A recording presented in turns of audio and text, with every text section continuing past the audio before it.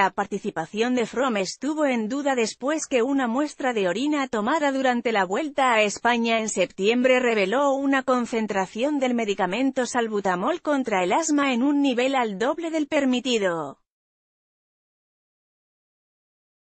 Los organizadores del tour habían informado a Fromm que no era bienvenido en la edición de este año hasta que la Unión Ciclista Internacional, UCI, lo exoneró de dopaje cinco días antes del evento, una decisión que le permite actualmente buscar su quinto título del Tour, hazaña que solo han logrado Jacques Anquetil, Eddie Merckx, Bernard Ginault y Miguel Indurain.